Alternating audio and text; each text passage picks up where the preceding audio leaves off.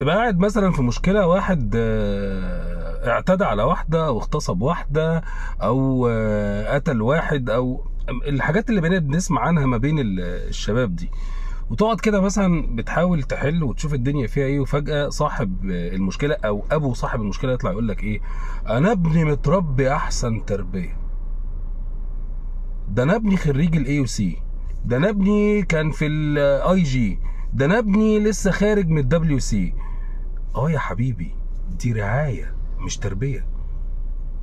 ما انت لازم تبقى عارف الفرق بين انك ترعى ابنك انك تأكله انك تشربه انك تلبسه انك تعلمه. دي اسمها رعاية. انما التربية إنك ما تلعبش ببنات الناس إنك ما ما تقولش ألفاظ إنك ما تتفرجش على معرفش إيه إنك ما تحتكش بالناس إنك ما تقلش أدبك على الأكبر منك إنك إنك إنك إنك إنك تصلي إنك تحفظ قرآن إنك آه، تبقى بني آدم محترم. هو ده يا جماعة التربية. إنما أنا ابني بياكل أحسن أكل بيلبس أحسن لبس ابني معرف أنا ابني ابن ناس. يا عم محدش قال لك إنك آه، اتعرفت على في جنينه الحيوانات. ما إحنا عارفين ان انت ابن ناس ما كلنا ولاد ناس.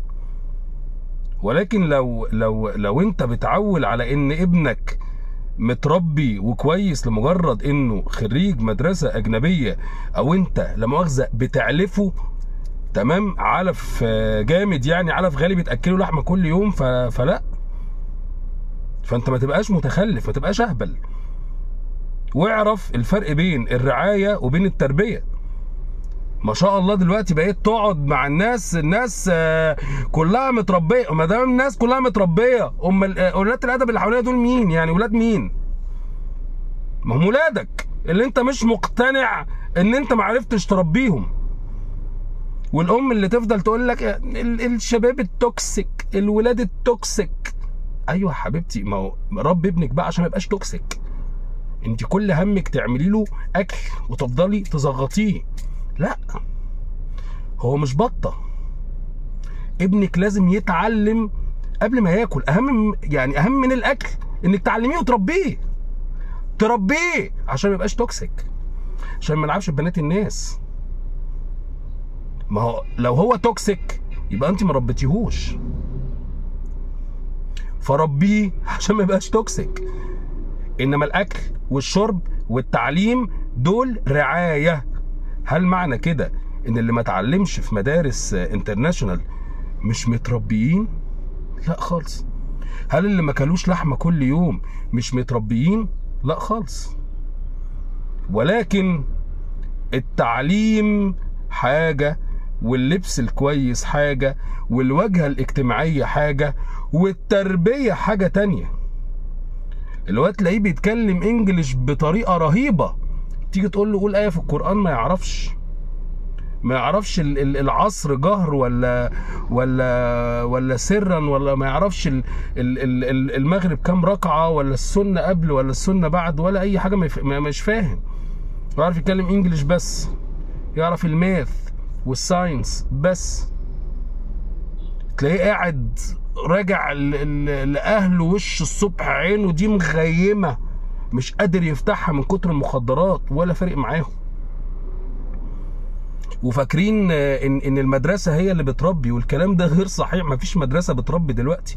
لا مدرسة غنية ولا مدرسة فقيرة. شغل بقى مسلسلات الثمانينات وضمير ابلع حكمة ده وال وال وال والشغل اللي كان بيحصل زمان ده خلاص يا باشا انساه خلاص. الكلام ده من الخمسينات والستينات والسبعينات أيام ما كان تعداد السكان 20 30 مليون. مش 150 مليون دلوقتي. شغل فاتن حمامه ده تنساه تماما. المدرسين مش عارفين يلموا المنهج هيربوا ابنك. وانت لازمة أهلك إيه؟ انت في البيت انت لازمتك إيه؟ وانت لازمتك إيه؟ لا أصل الأهالي دلوقتي ماسكين موبايلات 24 ساعة. تلاقي الأب شقيان على فكرة وال- والآباء بتبقى شقيانة برضه. شقيانة وشغالة شغلة واتنين. فأنت شغال عشان تجيب قرش. هتراعي ابنك من غير ما تربيه يبقى أنت ضيعت الفلوس دي في الهوا. يبقى هياخد فلوسك دي هيصرفها في المخدرات. فلازم تركز وتعرف الفرق ما بين الرعاية والتربية وإن التربية قبل الرعاية. مش كانوا بيقول لك التربية قبل التعليم أنا بقول لك بقى التربية قبل الرعاية.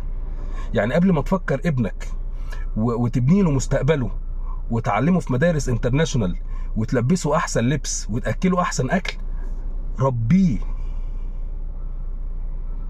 ربيه و... و... وعلمه آداب التربية.